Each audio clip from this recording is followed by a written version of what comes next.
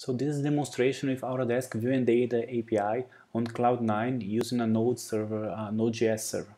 So the first thing to use this, uh, to do this demonstration is to create a Cloud9 account. I'm using the free level uh, membership and let's create a new workspace.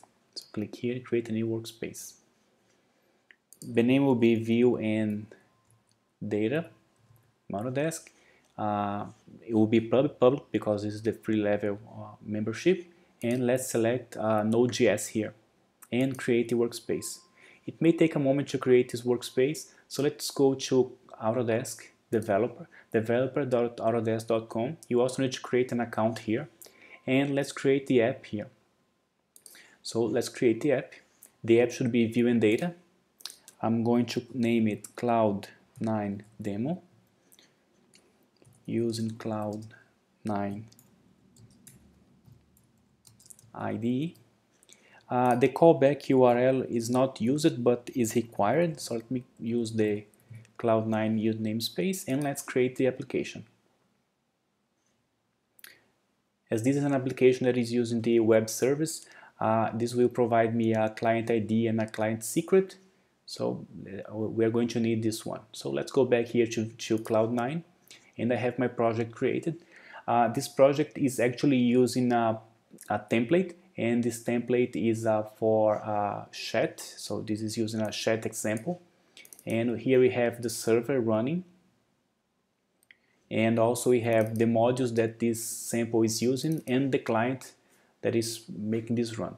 Okay I, I don't need this sample. This is just a chat. We're not going to do a chat here. So let me uh, remove this guy. We don't need this client anymore. This is a chat client the interface.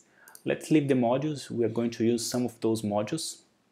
And uh, here we have the command line. So let's install the package that we need. npm view, sorry, install and data and hit enter and should install. If we open the node modules folder, we see that this view and data is created. This view and data package is actually installed, is uh, the source code is available on GitHub. So let's go to GitHub developer.autodesk and get the package. See what, what else, what kind of information do we have here. So npm, so view and data.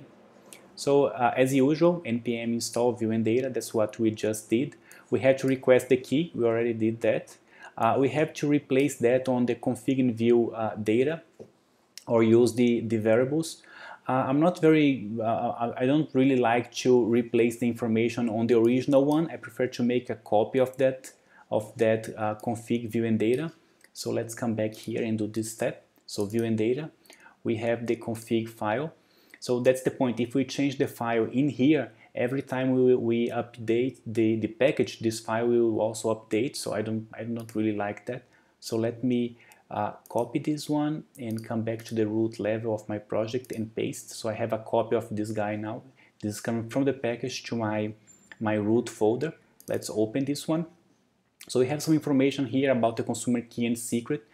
Uh, and as you can see, the consumer key and secret or client, client ID and client secret is coming from the environment variables but uh, I we can also copy and paste this information here. So let me copy from here. You can use either. You can, you, you can set as an uh, environment variable or you can uh, uh, leave like this on your project. So I prefer this way so you don't have to worry about that again. So we have a copy of that file. Okay so that's that's this step and uh, we have to set up a bucket key for for our project. So the the, the original or the full name is this. So let me rename to my name. So that's just to avoid uh, uh, uh duplicated names. And the next step is to okay copy the file like we just did. And there is an install package available. And the, the good point about this install package is that uh, we'll, of course, test the, the, the, the, API and make an upload of a testing DWF, which is a sample that we can use to test our API. We don't have to create a model, we can just use this testing one. So let's come back here to view and data. We have this test module that is, uh, you can also see here this test.js. Let's open this guy. Uh, and the only problem here is that this configuration is using the, uh, the, different information here. It's not the one that we just created. So let's let's replace this uh, configuration here and let me me replace this and point to the original one instead. So instead of typing the name here, let me use the one we just copied here. It's not the, it's not the one inside the package, but the one we copied. That's why we are using coming back three levels, so to, to come back to the root. So now we have the these tests uh, ready to go. Okay, so let's go to this folder. cd view and oh, data cd uh, test. Now we are on the, this test folder. Let's make sure this file is saved. Okay, save it. And let's save this one too. Make sure the key is updated. So I'm just pressing uh, save, which can be the, the I'm, I'm, using a Mac, so Command S or Control S on Windows to make sure these files are, are saved. And we can say npm test that will run this uh, testing routine here, that is the test.js. Hit enter. We can see that it's running.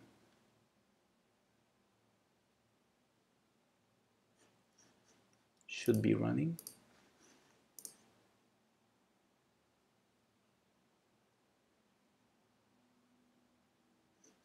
Let's see what I did wrong. And oh yeah, sorry. We need to install the package. We have we have to always look at these steps. So I'm missing one package, missing uh, this step install because to run this test, we, we need some modules to run the test, of course. So let, let me call first npm install. It's always good to have some problems that way we can debug the problem. So npm install to install the packages we need to run the test. And now we can say npm test and should work now. Oh yeah, it's working. No, it's not.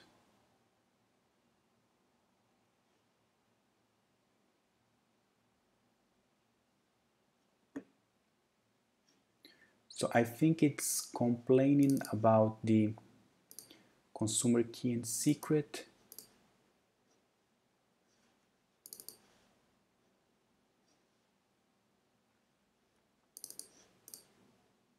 So let me just remove this one to avoid using the wrong version. And let's try again. npm test.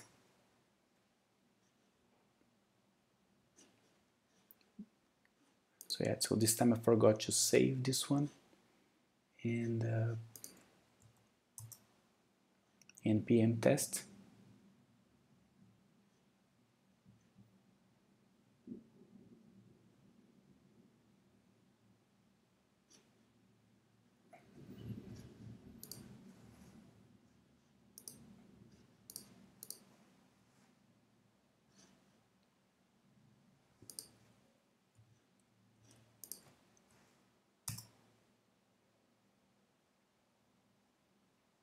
So I, I, had this bucket already, so that's why I have to create a new name for my bucket. And now it's uploading the file with a different bucket name. So uh, this name must be unique, that's why we need to change. And, and as I used this name before, that's why it's throwing that problem on the test. But let's go back here and see the results. So we make the test. And the good, the interesting point is that we have now the URN of the file we just created. So this is the file we, we uploaded to we uploaded to the view and data, and uh, uh, this this is the the name of that file, the test file that we have on the view and data server. So let me copy this guy. So make sure we have this one here. And okay, so now let's let's start our project. So this is the let me create this one here just to make sure we have the developer, the URN. So let me keep a copy of that guy. So let me come back, let's come back to the server. And uh, so as I said, this is the uh, uh, default that is using uh, to create uh, this the Node.js server. Actually, we don't need all of this. So let me uh, remove most of what we have here. Instead, actually, instead of typing everything again, let me just copy a ready version. So this is basically replacing most of what is already here. And I'm using the Express package, the HTTP, and the path package. And I'm creating the application, creating the server, rerouting, uh, creating an API to reroute all the, the API calls and uh, the uh, www calls will be redirected and the API calls will also be redirected and create the, the server and start at, at this port.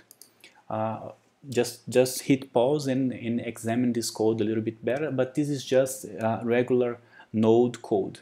So you see you have a, a www uh, folder and also an API folder. So let's create those two folders here.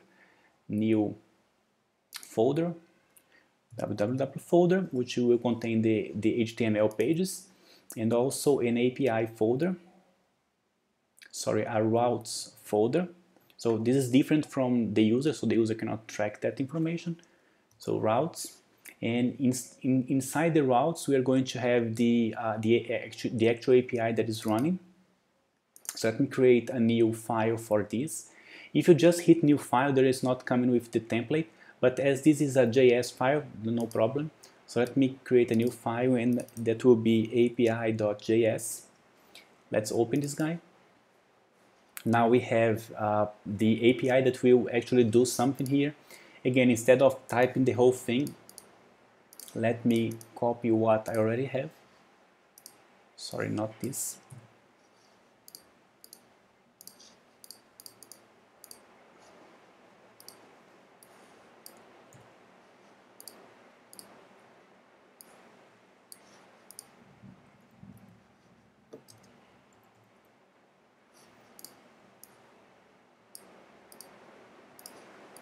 And let's try again.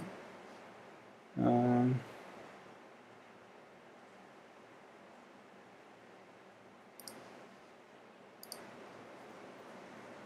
edit and paste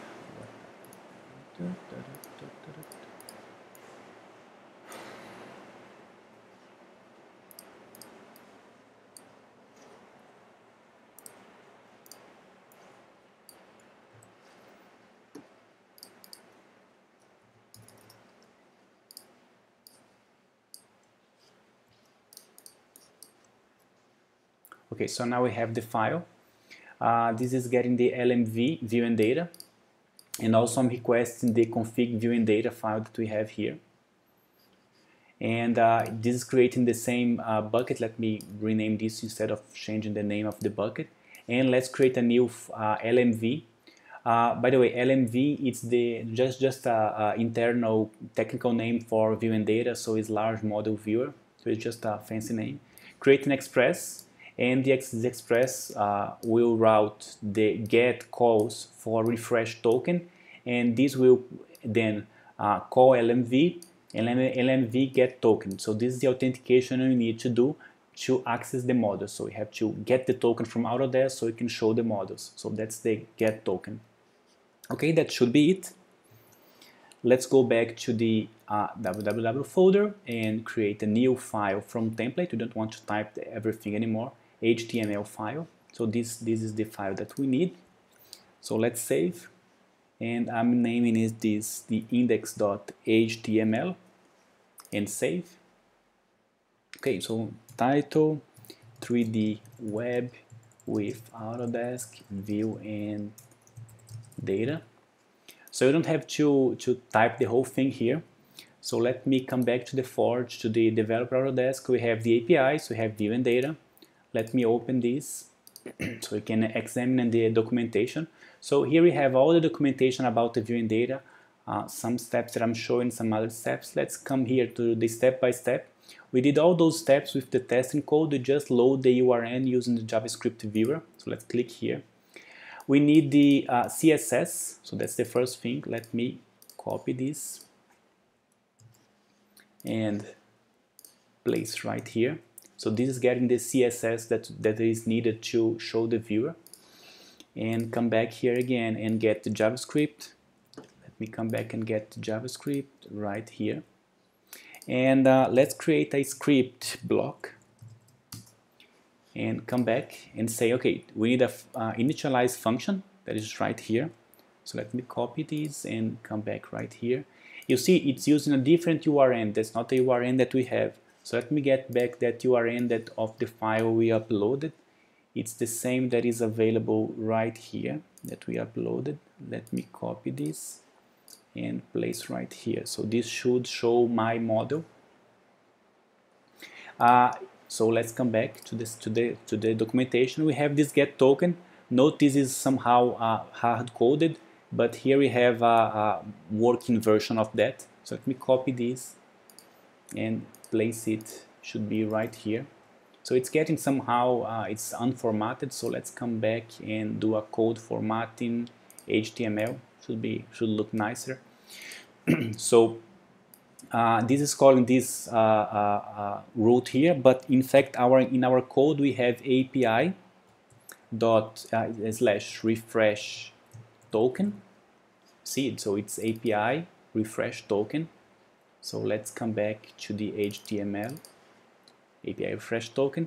And on our case we're not we're not returning a JSON output. We are just uh, uh, the, the token itself. So no need to pass this this this return because our code is a little bit different. So let's change it a little bit. So come back here. We have the function load that is also needed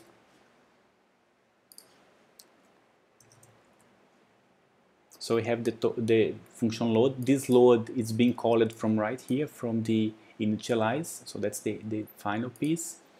Uh, let me format again. So we have a good good looking code and okay so I did I just missed this piece and it should be right here and uh, code formatting HTML oh yeah it's looking nice now copy and paste very carefully and uh, we need a div that will show our model. So let me copy this and come back right here at the end of the body.